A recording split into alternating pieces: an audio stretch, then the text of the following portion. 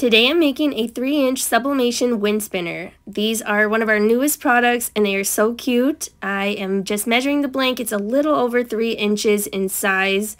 And then I just printed out my design. Um, this is from Creative Fabrica. And I just size it a little bit bigger than the measurements I took. I am going to press it on my, I'm just using my Cricut heat press. I'm going to do 385 degrees for 60 seconds. Anywhere in the 45 to 60 second range should be perfect for this. And here is how the first side pressed. It's beautiful. And I'm just going to repeat the steps on the back side. Just make sure that you have your design perfectly lined up um, so it looks cohesive with the front. And here's how it looks on both sides. This step, I just kind of mess around with it till I like how it looks. I just pop out all the edges to make it kind of into a globe shape. These do come with the hooks that spin. And here is what it looks like finished. Let me know what you think, and you can get these blanks from Better Call Moll Craft Shop ready to ship today.